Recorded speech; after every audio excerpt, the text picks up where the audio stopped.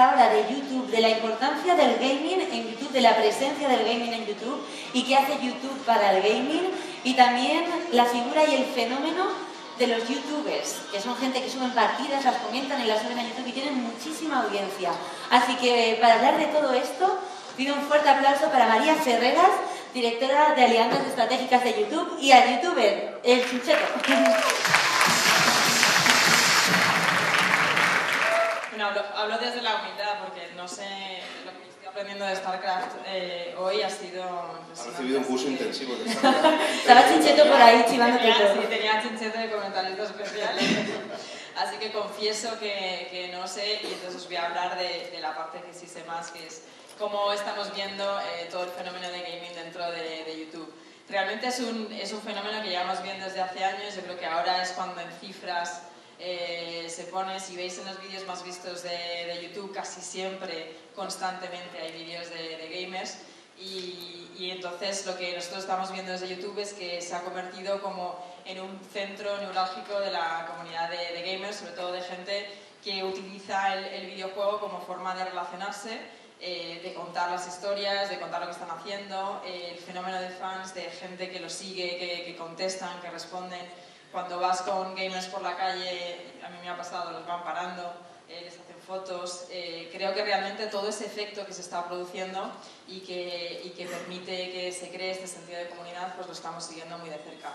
Las cifras son increíbles. Hay, eh, en, España en particular hay muchos gamers que, que hacen más de un millón de suscriptores eh, al que tienen más de un millón de suscriptores, de gente que les sigue y que hacen millones y millones de visualizaciones eh, cada mes. Hay gente que, que, se está dedicando prácticamente a esto y que es, una, es prácticamente su trabajo a tiempo completo. Eh, los juegos que más, que más están pues es el Call of Duty, el LOL, que yo hasta ahora lo llamaba League of Legends, pero, pero hay que decir LOL, así que ya lo he aprendido, ya estoy poniéndome en ello. Clase intensiva y, de y LOL Minecraft, y pues, de StarCraft. Sí, sí, sí. Y Minecraft, que es como el, el super, la superestrella. Parece que hasta sea alguna cosa. ¿eh?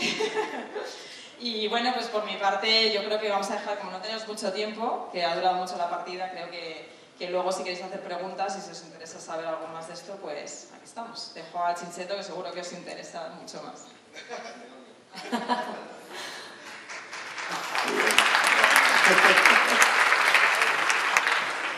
Pues la verdad es que es la primera vez que hablo con alguien de YouTube en español, porque esto de tener un contrato con Machinima pues te hace hablar con un señor que nunca te contesta y estamos deseando pasarnos a YouTube España, ¿eh? ¿Qué?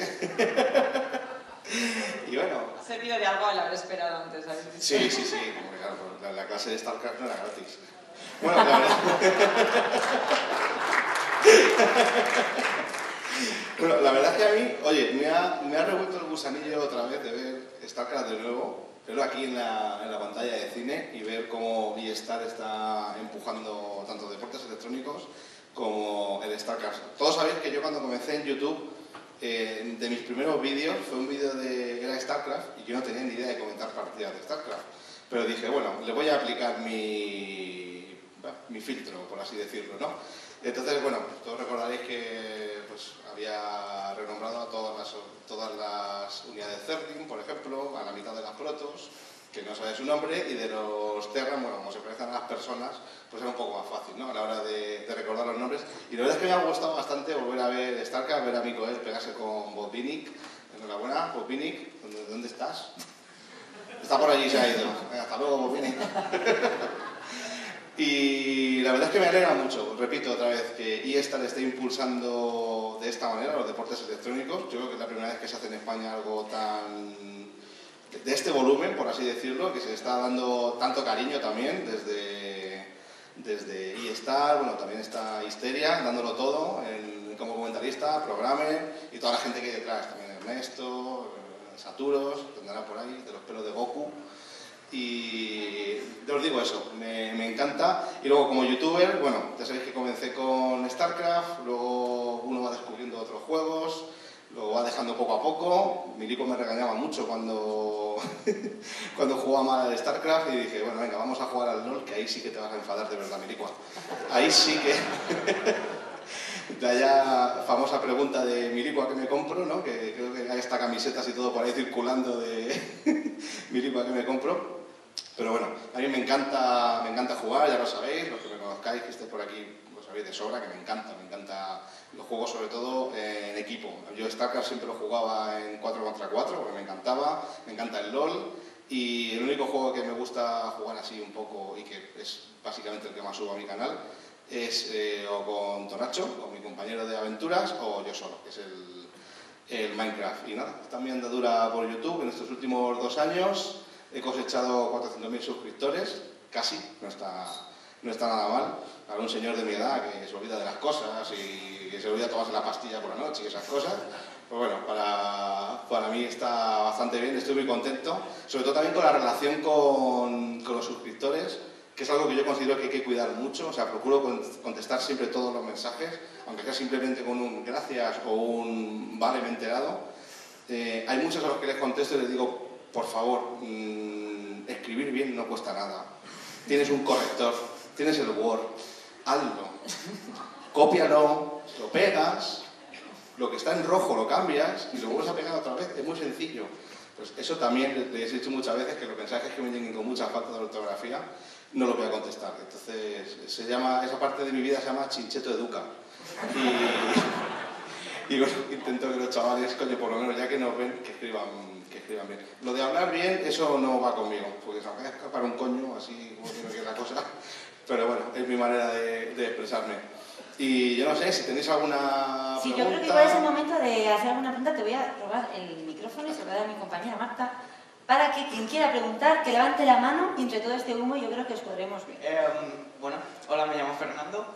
Un momento, y- un momento, Fernando, Fernando, ¿para quién la pregunta? ¿Para ella o para mí? Para ti. Ah, vale. Y no es una, son dos. Joder. Eh, la primera pregunta es, ¿dónde te has dejado tu gorro de Timo? Y, y luego la segunda es, eh, viendo los rumores que han salido últimamente de copyright y que las empresas de juegos no van a dejar subir su contenido, ¿cómo, cómo la afrentas? ¿Crees que va a ser, crees que va a ser verdad? O, y si es así, ¿qué, qué piensas hacer al respecto? Te voy a contestar, te voy a contestar como un político.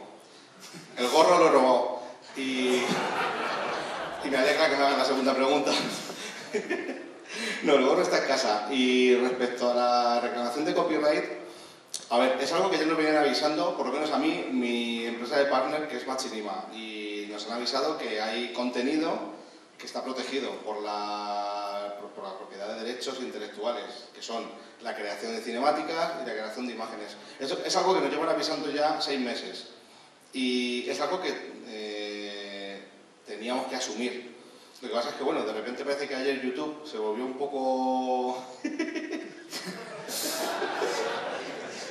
exigente, vamos a decir. O a- aplicaron el filtro este que tienen ellos para detectar música con copyright y bueno, parece que han, ha habido alguna reclamación de contenido de terceros a, mucha gente. Mm, Simplemente pues lo aceptas si quieres o dices que sí, que es un contenido de terceros o que no y inicias una, una impugnación y ya a partir de ahí pues eh, que se resuelva el, la idea de contenido, o sea, la coincidencia idea de contenido. Pero bueno, en principio es algo que ya sabíamos y que es que es así. Uno crea algo y tiene la propiedad intelectual sobre ello y nadie puede explotarlo sin su consentimiento expreso y menos mm, si va a ganar dinero haciéndolo, como en nuestro caso. O sea, realmente la, la política siempre, siempre ha sido que quien tiene los derechos, tanto del vídeo como del audio, sea música o sea lo que sea, es quien puede explotarlo. En el caso de los videojuegos es muy particular porque, eh, como estaba comentando antes Chincheto, el tema de la cinemática, al final el, el videojuego, el, el juego que tú estás jugando es único. La forma que tienes de mover tus jugadores, de, de hacer, de, como tengas el mapa, de, los movimientos son únicos. Son los publishers, en este caso Blizzard, Blizzard Blizzard, que ya me ha regañado antes que no se puede decir, eh, pues Blizzard, Activision, Electrónicas, los que realmente eh, son los que tienen la, la propiedad al final de los videojuegos. Eh, bueno, hola Chincheto. Bueno, señorita. María. Eh, debido a la proliferación de estos de youtubers que está habiendo ahora, eh, Espera, espera, espera, repite, no mal de oído. debido a la proliferación de youtubers que está habiendo ahora y que algunos consiguen dinerillo, ¿no? También hay muchos otros que dicen, hostia, yo también quiero. ¿no? Y mi pregunta no es cuánto ganas, mi pregunta es qué te preguntaste a ti mismo cuando te ofrecieron el cambio. De hecho, ¿quién me pregunté a mí mismo cuando me ofrecieron el partner? No, a mí no me lo ofrecieron. Eh, yo comencé a subir vídeos eh, de StarCraft, pero en, comentándonos además en, plan muy chorra. También algo de Battlefield Bad Company 2, que en ese momento estaba dándolo todo. Y o sea, cuando empecé a subir vídeos, al poco tiempo me dijeron, oye, ¿tú sabes que con esto puedo ganar dinero? Y dije, bueno, pues tampoco creo que dé mucho. Y nada, me, me dijeron, cuando llegues a 2.000 usuarios, o sea, cuando llegues a 2.000 suscriptores, ves tú, yo tenía 80. Y cuando llegues a 2.000, mm, pide el partner con Machirima que te lo dan. Y pensé, 2.000 suscriptores, pues para 2016 o así, igual llego. Más o menos, porque conseguir 100 suscriptores me costó un par de meses, quizá tres tres meses más o menos. Pero cuando, o sea, cuando llegué a 2.000 suscriptores ya sabía que podía pedir un partner y que podía monetizar vídeos. O sea, los vídeos que subiera de videojuego, monetizarlos y, y, empezar a ganar dinero con esto, claro. Hola, yo soy César y quería preguntarte a ti, Chincheto, si te sigo en Twitter, ¿me das follow back? ¿Perdona? Que si te sigo en Twitter, ¿me das follow back? Eh, pues mira, te iba a decir que no. Un momento, un momento, un momento. Te voy a decir que no y luego te voy a decir que no también, pero te voy a explicar. Está bien, es bueno saber. O sea, ahora, ahora mismo tengo un problema porque sigo a 78 personas. Y tengo que dejar de seguir a uno ahora mismo. O sea, no ahora mismo, sino... Para después. En breve. Tengo que dejar de seguir a uno porque, como soy Chincheto77, llevo siguiendo a 77 personas en Twitter desde hace pues, año y medio más o menos. Cuando llegué a 77 dije, yo, mi cerebro no es capaz de leer más de 77 cosas distintas en mi timeline timeline, perdón. Y entonces tengo que dejar de seguir a uno para que se queden 77. Entonces lo de seguirte va a estar complicado. Hombre, siempre puedes dejar de seguir a dos y hacerme hueco. Te puedo meter en una lista. Soy muy guapo. Cualquiera querría tenerme en su timeline. bueno, igual te meto una lista de suscriptores que ahí también tengo. Hola. Pasa flipping. Buenas tardes. A ver lo que preguntas, ¿eh? No, no, esta es, es sutil. Eh, no, yo, yo, realmente pienso que los youtubers, gente que mueve tanta gente, gente que mueve, bueno, para los que no lo sepan, llevo 13 años dedicados al gaming desde que era muy pequeño, llevo media vida. Eh, ¿Con Billy? Eh, sí, bueno, con Billy 6, luego he estado 6 sin él también. Eh, y pienso realmente que, que los youtubers pueden ayudar mucho más al gaming, o sea, yo creo que gente que tiene tanto poder, que tiene tantos seguidores, que están tan, tan arriba, eh, podrían ayudar mucho más a las competiciones, podrían ayudar mucho más a los campeonatos, podrían ayudar más al mercado gaming y muchas veces veo, mi opinión personal, que los youtubers en este caso, por mucho que jueguen a videojuegos, eh, a, muchas, a muchos de ellos, por ejemplo, no digo que sean todos, no le importa el gaming en España, o sea, realmente ellos tienen su, su trabajo, tienen su forma de, sí, sí, sí, de, de, afrontar, de, afrontar, la vida y ellos, ahora te cuento. Eh, la cuestión es, realmente yo creo que muchos ni piensan así, o sea, directamente ellos la mentalidad que tienen es, si tú quieres que apoye algo, págame y yo lo apoyo. Así es. Yo lo que, yo, llámame un sentimental de esto, sí, sí, un sentimental, llámalo X, eh, pero a, a, mí me gusta ayudar a la gente. Y yo personalmente pienso que los youtubers, bueno, te pregunto a ti, ¿tú piensas que los youtubers podrían ayudar al gaming nacional y hacer que subiéramos más? Vale, te voy a contestar también con una pregunta así a lo gallego. Mira, cuando yo, yo, empecé en YouTube, llevaba, pues, no sé, si, si está por aquí mi licua, me puede recordar el número, creo que eran como 800 o 1000 eh, suscriptores. Y fue cuando yo entré, a trabajar en eGamers. ¿vale? En eGamers hacía un podcast todos los jueves en directo.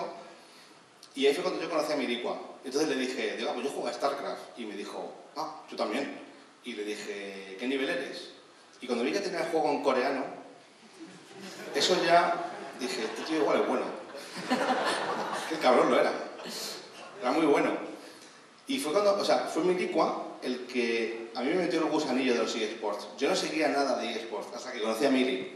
Fue, o sea, fue cuando, cuando, cuando conocí a Milicua, cuando nos pagamos una suscripción a la MLG y nos veíamos campeonatos de, de StarCraft, Marine King, ¿te acuerdas el famoso baile de Marine King del gorila que luego se tiró al sofá? Ese lo hice yo en directo. pues, o sea, a mí Milicua me despertó el interés por los, por los eSports, tanto StarCraft como de LOL. como de cualquier otro juego, porque Mili cuando habla de muchos juegos me dice, oye, tenemos que probar el counter, tenemos que probar tal. Todo lo que pruebo con, con básicamente, son juegos que están o han estado orientados a la competición. Counter, por ejemplo, yo he visto, o sea, yo cuando estoy jugando al counter con Milicua, esto lo voy a confesar aquí, ahora que estamos pocos, me dejo matar, porque quiero ver cómo juega él.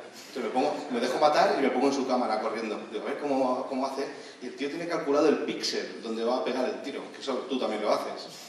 ¿O lo hacías? Pero ya la vista va fallando con la edad, ¿verdad? ¿Qué me vas a contar?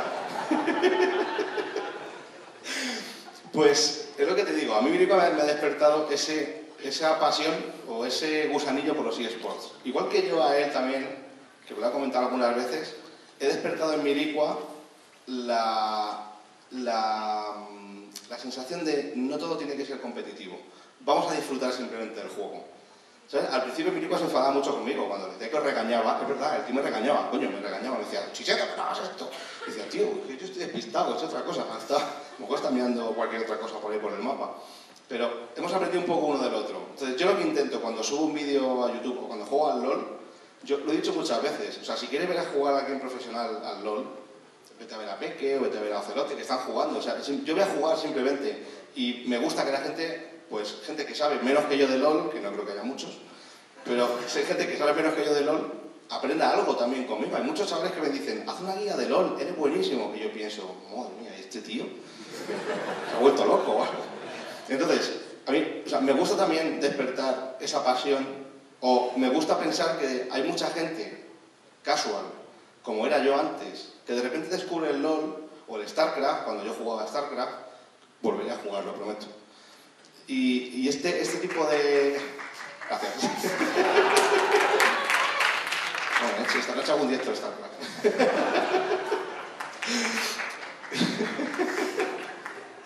Entonces, eh, te, devuelvo la pregunta. ¿Cuánta gente crees que ha descubierto los eSports de forma amateur o de forma casual gracias a mis vídeos, por ejemplo?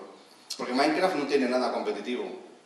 Minecraft no, no, ¿Qué vas a hacer en Minecraft? Unos juegos del hambre. El PvP de Minecraft... El PvP de Minecraft no funciona. o sea, está mal hecho. No, no estaba preparado para ser un PvP. Pero lo que... bueno, yo entiendo que tú me estás preguntando a mí otra cosa diferente. Lo que yo te estoy preguntando es si tú piensas realmente que la comunidad... no, depende del youtuber. Pero tú piensas que podrían ayudar a la comunidad de Hombre, todo el mundo siempre puede hacer más de lo que hace. Lo que pasa es que, bueno, sí. sí, claro. Vas a pensar, sí, Parece un periodista, sí, claro. A ver, eh, Willy Rex tiene casi, dos, no sé, dos o tres millones de suscriptores, no sé los que tiene, tres millones de suscriptores. ¿Tú sí crees que si Willy Rex se pone a jugar al LOL en plan profesional, se coge un coach, que igual puede permitírselo, y aprende a jugar bien al LOL, no va a hacer que muchos chavalines de los que le siguen va a despertar su interés por el LOL? Pues sí. Por, los, por, por lo que es eSports, no lo sé. Eh, pienso que la gente que está tan tan arriba y que puede, o sea, que tiene capacidad para hacerlo, debería a lo mejor ayudar más. Entonces, yo te agradezco la pregunta y perdona que vea tampoco. Eh, porque me parece interesante lo que dices de los youtubers ayudando a los gamers, pero al revés, no he visto a muchos gamers profesionales haciendo vídeos en YouTube. ¿Es algo que se plantea o no tiene sentido? Hay mucha confusión, yo creo. O sea, yo creo que sí, a día de hoy, eh, ¿qué es el gaming? Digo, a nivel profesional, en temas de eSports, o sea, más este, eh, una historia, como tú decías, más, más gaming profesional. Hay mucha gente que confunde ahora eh, youtubers con gamers y gamers con youtubers. No tiene nada que ver. Nosotros los llamamos gamers. A los youtubers que hacen gaming los llamamos gamers. Bueno, yo vivir para la competición siempre lo he visto de forma diferente. No hago, no hago vídeos y los subo a lo mejor. Alguno he hecho y en mi juego por lo menos lo hacen otras personas y ten en cuenta que nosotros de 6 a 8 horas nos las pasamos entrenando y que, y que bueno, en parte que el gaming crezca tanto ha sido gracias también a los gamers que empezamos con esto. Y te repito, en el 2004, en el 2005, que no existía el Twitter, había, había equipos españoles, habían jugadores españoles y competíamos fuera de España por mucho dinero. Y no teníamos apoyo. Pero los gamers españoles ahí estaban, o sea, incluso pagándose cosas de sus bolsillos para que esto creciera. Yo tengo la, buena suerte, la mala suerte, pues que tengo ahora 26 años, llevo media edad dedicada aquí, he estado en muchos países, he competido muchísimo eh, y aún sigo compitiendo, ¿no? Yo tengo muchas obligaciones, No tengo la suerte también de que yo por jugar a mí me paguen dinero, nunca, nunca me han pagado dinero, nunca he sido jugador profesional de deportes electrónicos. En España hay pocos y jugadores de counter no hay de ninguno que sea profesional. Eh, y bueno, esa es mi suerte, pero eso a mí no me quita la ilusión de seguir compitiendo. Yo gano un torneo, yo me acuerdo de la gente que nos sigue, aunque sean 5, aunque sean 50. Y, y bueno, personalmente, yo creo que los jugadores profesionales ayudan a youtubers. Tenemos el caso de Xpeke, que a lo mejor no, no, funciona en YouTube, funciona más en Twitch o, o de Ocelote, pero son gente que sus videofrags, que es lo que llaman a los gamers, o sea, los gamers no son youtubers, o sea, la gente hace videofrags de ellos, o sea, no lo hacen ni ellos mismos, los hacen los demás. Y está lleno, YouTube está lleno de videofrags. De mí incluso que soy aquí bastante no nadie, a lo mejor por el juego que compito, yo que a lo mejor tengo un vídeo de 60 70 mil visitas en YouTube, por ejemplo, y no soy ni youtuber, y no tengo ni canal en YouTube pero es porque yo creo que son comunidades diferentes en ese sentido. Pero por nuestra opinión, incluso por mí y por la gente, yo, yo creo que somos usuarios de YouTube, somos también los que vemos los vídeos, yo he visto vídeos de Chincheto, eh, yo... bueno, al LOL, no me hables del LOL mejor. eh, bueno, soy usuario de YouTube, me encanta, yo veo vídeos de Rubius, veo vídeos de mucha gente y muchas veces me lo he pensado, ¿no? Y decir, bueno, si alguien de, esto, de estas personas que mueven a tanta gente se lo propusieran, podría ser muy bueno para el gaming. O sea, podría... Pero te digo, ¿qué es el gaming? Bueno, yo creo que esto podría dar para muchísimo y en realidad estamos aquí para que Hobbit y Godinic jueguen la gran final, así que yo os invito a que ahora mismo salgáis fuera y sigáis el debate y luego nos lo contéis las conclusiones. Así que un fuerte aplauso para María y para Quinteto.